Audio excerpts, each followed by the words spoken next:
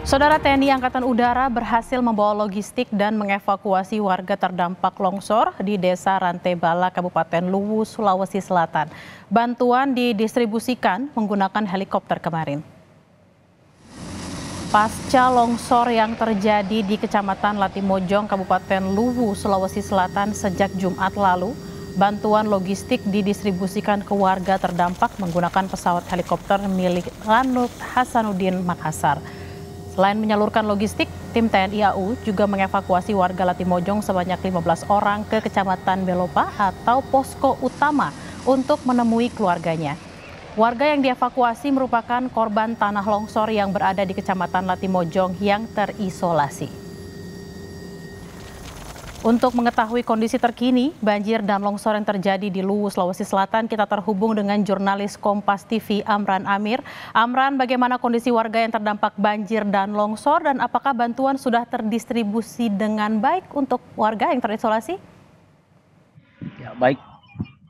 Selamat siang Bella dan saudara. Memang hari ini kondisi warga pasca banjir untuk daerah-daerah yang ter, eh, tergenang banjir kondisinya sudah membaik atau air sudah surut sejak beberapa hari ini.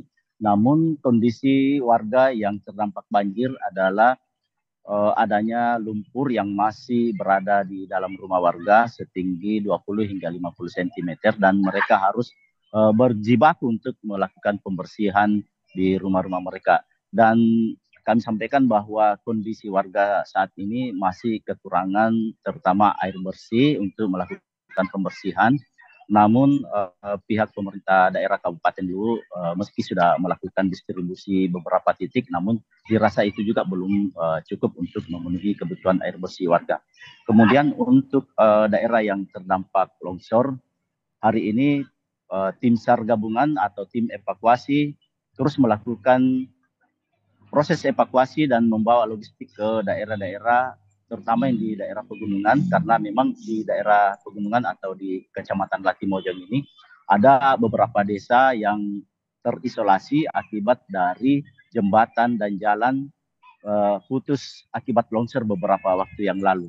Dan uh, hari ini tim masih bergerak membawa logistik ke lokasi baik yang melewati lewat udara maupun uh, lewat darat dan komunitas hari ini komunitas off-road di Kota Palopo dan Lugu dilepas untuk membawa logistik ke daerah-daerah yang terisolasi termasuk eh, pasukan atau anggota dari TNI Kodim 1403 Kota Palopo dikerahkan untuk membantu warga membawa logistik ke daerah-daerah terisolasi tersebut. Namun pola yang digunakan adalah apabila di daerah tersebut sudah uh, terhalang dengan longsor maka pasukan tersebut akan berjalan kaki membawa logistik ke rumah-rumah warga atau di posko yang tersedia di Kecamatan Latimojong Bela.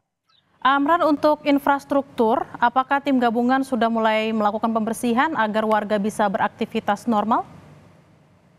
Ya, untuk infrastruktur ada beberapa infrastruktur sudah terus digenjot untuk dilakukan pembersihan seperti Jalan Trans Sulawesi, pihak PUPR sudah melakukan pembersihan atau perbaikan jalan sejak minggu kemarin, uh, termasuk personil dari kepolisian Polres Kota Palopo dan Kabupaten Luwu uh, memasuki rumah-rumah warga atau perkampungan warga melakukan pembersihan seperti rumah ibadah, uh, sekolah dan beberapa tempat-tempat yang dianggap vital. Bella.